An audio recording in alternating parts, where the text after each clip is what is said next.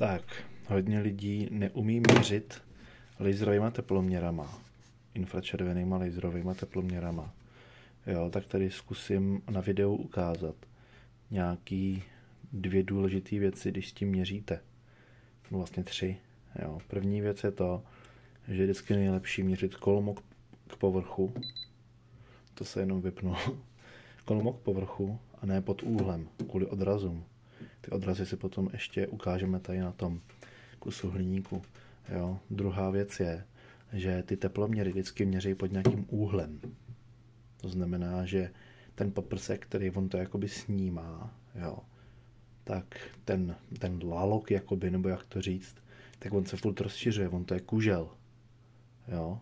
Běžně u těch teploměrů bývá údaj, třeba, že na jednom metru ten kužel je široký 15 cm, na dvou metrech 30 cm a tak dále. Jo. Dřív jenom vyloženě přístroje za nějakých 80 tisíc měli vlastně laserový ukazatel toho kužele. Jo. Dneska vlastně běžně ty teploměry mají jenom jednu tečku, případně dvě, které nám udávají jakoby vnější hranice toho kruhu, ve kterém ono to měří. Jo. A tenhle ten, ten, to mě dost překvapilo. Ten, ten kužel ukazuje naprosto krásně. Za pár kaček teploměr. Jo. Krásně ukazuje kužel měřící. To je nádherný. Jo. Takže tohle to rozhodně eliminuje tu chybu těch lidí, kteří moc nechápou, o čem to měření vážně je. A jakoby zjistíte, že to neměří jenom v tom místě, kde je ta červená tečka, ale měří to v o mnoho širším místě, protože se taky snažíme měřit co nejblíž tomu objektu. Jo. Třetí věc je emisivita.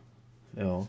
A vlastně emisivita běžných materiálů byla zvolena jako 0,95 absolutně černý těleso má emisivitu e, to jedna a vlastně o co go, e, vy chcete teplotu měřit na neprůhledných, určitě ne průhledných a na co nejtmavších a matných předmětech.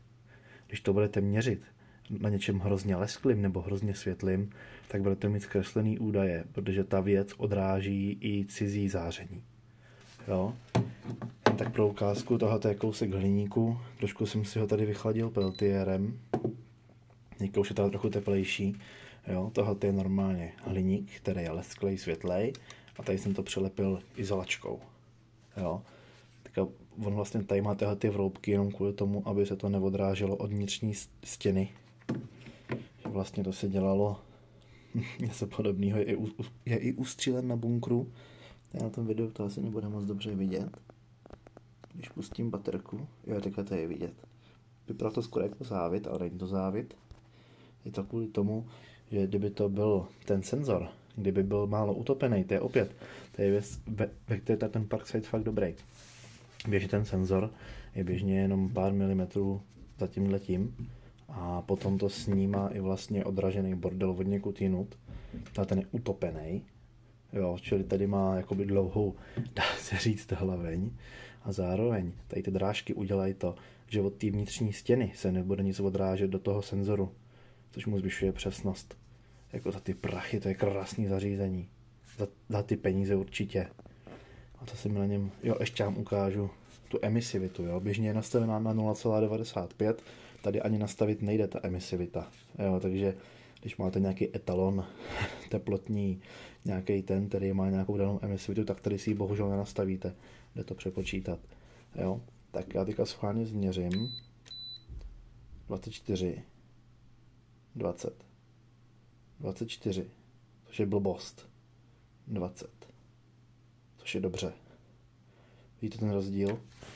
Ta izolipa samozřejmě na tom úplně přilepená, je, je to matná černá, čili emisivitu může mít, já nevím, kolem 0,98, což už je hodně blízko té ideální jedničce, ale tohle to může být, já nevím, ale ty lesklý předměty mývají od, od 0,4 až po 0,9, no. Záleží samozřejmě strašně na tom povrchu, na tom materiálu a na prostředí, v jakým jsme a tak dále. Jo. A když je kolem vás hodně teplných zářičů, To znamená, v mém případě tady to jsou stěny a tak dále, tak se to potom, tak se to potom odrází od toho předmětu do toho přístroje, takže my potom vlastně měříme kraviny. Jo. Teďka měříme kraviny. Takže proto ty laseráky je u nich důležitý vědět, jak se má správně měřit a co se má měřit. Černý objekty. Jo, to znamená, teďka udělám střih. Když měřím třeba kamna, tak nebudu měřit to sklo. Tady to změří hodně blbě, no tady asi ani ne, protože je špinavý. Jo, ale světlý. Nic moc. A ty tmavý jsou na tom líp. Jo, střih. Takže to je k té problematice toho měření. Eh, dejte si na to pozor. Ten kužel, díky tomu je tenhle ten Parkside trochu blbůvzdorný, aspoň co se týče toho kuželu. Jo? Že opravdu lidi nebudou mektat na to, že na 100 metrech někam namířili a ono to ukazovalo blbě, i když ta tečka byla na nějakým, já nevím, hrnci vzdáleným 100 metrů, kde se něco vařilo. Jo? Takže tak k tomu. Druhá věc, co se mi docela líbí, je to docela zajímavý, je, ono to má zelený podsvícení, jsem si říkal, no zelená Parkside, to bude tím. No a ono prdlajs. Vy měříte, zvolíte si referenci, tímhle tím, cvák. Jo. Teďka si zvolíme citlivost, já tady dám manuálně na 3 stupně. Jo. A to bylo moc málo citlivý, tak teďka půl stupně. Tohle je studenější. Jo. A co bude teplejší, já nevím, UPS? Jo.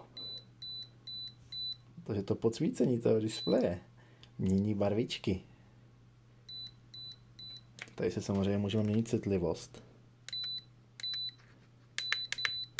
Hrozně se mi to líbí. To je hustá věc tohleto. Můžeme mít vlastně referenční teplotu a s ní srovnávat a zároveň to umí i barevně, i akusticky. To je fakt jako přístroj, který byste jinak koupili za o mnoho větší prachy. Jo? Jako rozhodně se mi líbí, rozhodně ho budu používat. Nějaký fluk za tři tisíce má sice třeba nastavení emisivity, jo, ale má jenom dvě tečky. Tohle to jich má kolik? 8 plus jedna centrální. Jo. to je krásný.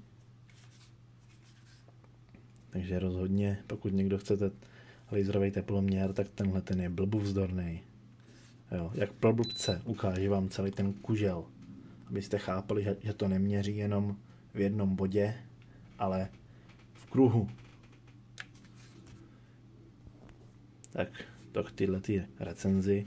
Já musím říct, že tohle se Parksideu fakt povedlo. Jo, střih.